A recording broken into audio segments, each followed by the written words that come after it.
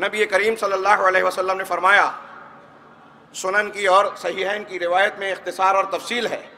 آپ نے فرمایا، لو تعلمون ما عالم لضحکتم قلیلا ولبکیتم کثیرا۔ وہ بات جو میں جانتا ہوں، اگر تم جان جاؤ، تو تم بہت کم ہنسو گے اور رو گے زیادہ۔ بعض روایتوں میں ہے کہ صحابہ کرام نے پوچھا کہ وہ کیا چیز ہے جو آپ نے دیکھا؟ تو آپ نے فرمایا جہنم۔ جہنم کا اگر منظر ہم اور آپ دیکھ لیں، جناب محمد رسول اللہ صلی اللہ علیہ وسلم کا فرمانا ہے کہ تم ہنسنا چھوڑ دو یا بہت کم کر دو۔ آج ہم ہنستے زیادہ ہیں۔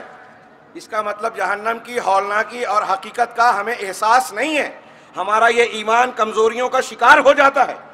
اگر یہ ایمان و یقین اپنے اعلیٰ معیار کو پہنچ جائے، عین الحق، عین الیقین کی طرح، تو اللہ کے رسول صلی اللہ علیہ وسلم نے فرمایا کہ تم بہت کم ہنسو گے اور رو گے زیادہ۔ اس جہنم کی شدت کا تصور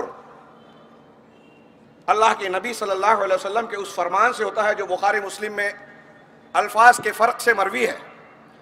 آپ نے فرمایا، ان احون الناس عذابا یوم القیامہ لرجل یوزع فی اخمس قدمائے جمرتان۔ جہنم میں قیامت کے دن سب سے ہلکے عذاب والا آدمی وہ ہوگا جس کے پیروں کے تلووں کے نیچے، قدموں کے نیچے آگ کے دو انگارے رکھے جائیں گے۔ اس سے کیا ہوگا؟ یغلی بہما دماغ ہو، جس سے اس کے دماغ کی ہڈیاں کھولیں گی، ابلیں گی۔ یرا انہو اشد الناس عذابا۔ وہ ایسا سمجھے گا، محسوس کرے گا کہ اسے جہنم میں سب سے سخت عذاب دیا جا رہا ہے۔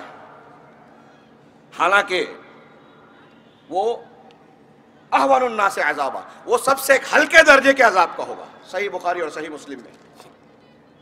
سب سے ہلکے عذاب والا عذاب جس کو دیا جائے گا، وہ سب سے شدید عذاب میں مبتلا اپنے آپ کو سمجھے گا۔